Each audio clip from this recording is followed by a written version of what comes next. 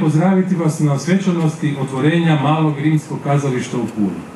Večeras svečano obilježavamo to što smo, to što smo jednog od najvažnijih antičkih spomenika u Hrvatskoj vratili izvornoj svrsi i funkciji.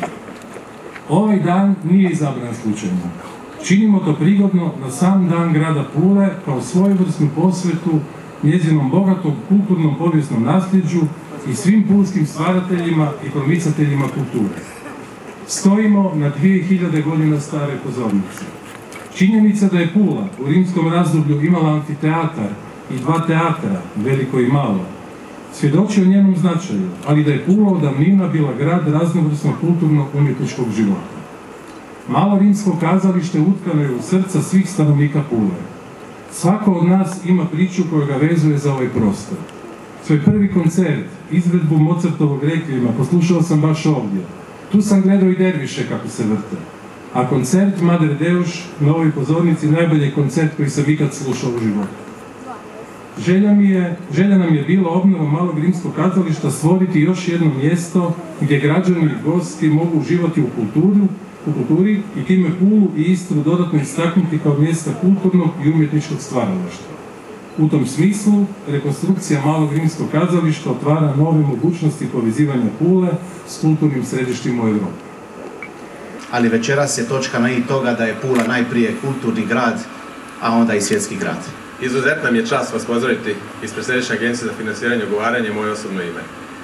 Veliki dan za malo rimsko kazalište, to slušamo ovih dana puno puta i stvarno je veliki dan. Evo, obnovio se ovaj predivni prostor, možemo reći, najljepši prostor za kazalične koncertne događaje, ne samo u Hrvatskoj, nego i u ovom dijelu Europe. S posebnim veseljem večeras otvaramo ovaj još jedan obnovljeni dragulj naše bogate kulturne baštine, kojeg smo naslijedili od naroda koji je stvarao temelje europske civilizacije, kulture, koju su s velikim dijelom preuzeli naši hrvatski preci i sačuvali nam vrhunske spomenike glasovitog rimskog graditeljskog umjeća. Malo rimsko kazalište u kojem su se u antičko doba odvijale glazbene manifestacije čitanje poezije nazivamo malim, samo zato jer se nalazi nedaleko velebne arene i ostalih poznatih spomenika rimske kule. Ali kao jedino očuvano rimsko kazalište na Hrvatske, ono je zapravo veliko i vrijedno svjedočanstvo kulture ne samo starih Rimljana, nego i svih građana Pule koji su ih u kasnijim stoljećima naslijedili i vraćali se ovom središtu sa svojim scenskim i glazbenim izvedbama.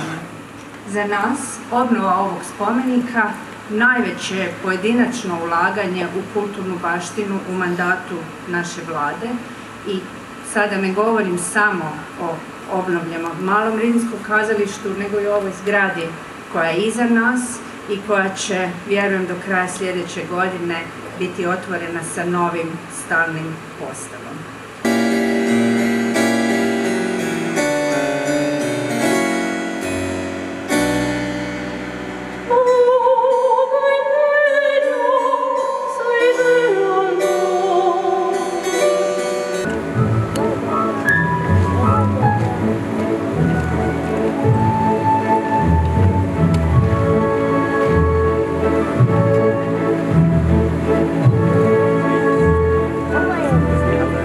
なかった。